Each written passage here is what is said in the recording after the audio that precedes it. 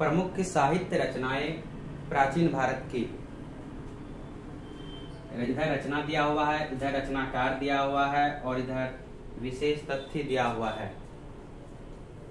इसमें पहला है हर्ष चरित्र, और हर्ष चरित्र एक पुस्तक है प्राचीन भारत की, जिस, जिसके रचनाकार है बाणभट्ट और इसमें किस बात की जानकारी मिलती है? इसमें हर्ष की उपलब्धियों का वर्णन मिलता है। हर्ष की उपलब्धियों का वर्णन किस बुक में मिलता है?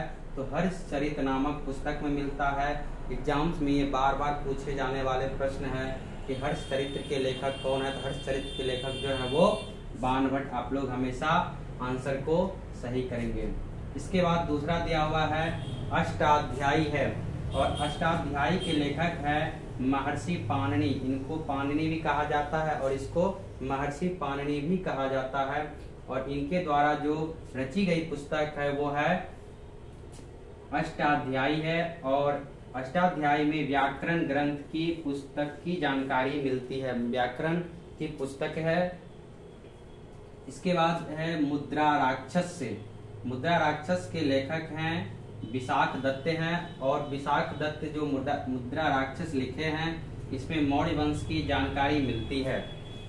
इसके बाद आएँगे राज तरंगनी राज तरंगनी के लेखक हैं कलहन है और इसमें कश्मीर के राजवंश की जानकारी मिलती है। किस राजवंश की जानकारी मिलती है?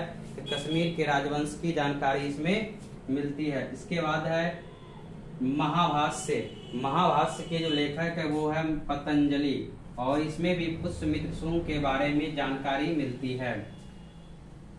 अगला है पृथ्वी राज रासो। पृथ्वी राज रासो के लेखक है कवि चंद वरदाई हैं, इसको चंद वरदाई कहा जाता है।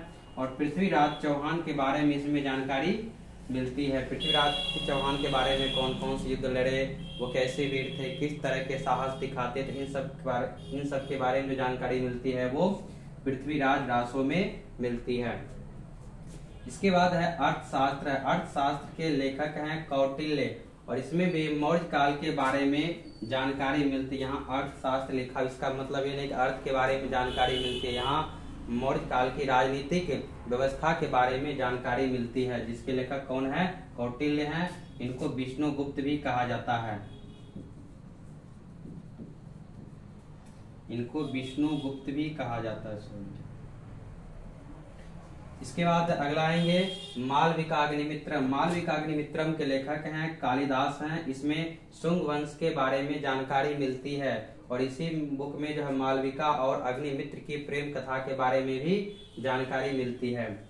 इसके बाद नेक्स्ट है मृच कटिकम मृच कटिकम के जो लेखक हैं, वो है शुद्रक हैं। और इसमें गुप्त कालीन समाज के बारे में जानकारी मिलती है। तो हम लोग देख लिए हर्ष चरित्र के लेखक हो गए बाणभट्ट, अष्टाध्यायी के लेखक हो गए पाणनी, इसका मुद्रा राक्षस के लेखक हो गए विशाख दत्त, राज तरंगनी के लेखक हो गए कलहन, महाभाष्य के लेखक हो गए पतंजलि और पृथ्वीराज रासो के लेखक हो गए चंद्रवरदाई इसके बाद अर्थशास्त्र के लेखक हो गए कौटिल या विष्णुगुप्त कहेंगे, इनके बाद मालविकाग्निमित्रम के लेखक है कालिदास और मृच कटिकम के लेखक हैं शुद्रक ये प्राचीन भारत की प्रमुख साहित्य रचनाएँ थी, जो हर एग्ज़ाम में बार बार पूछे जाते हैं। धन्यवाद। आज इतना ही रहने दीजिए।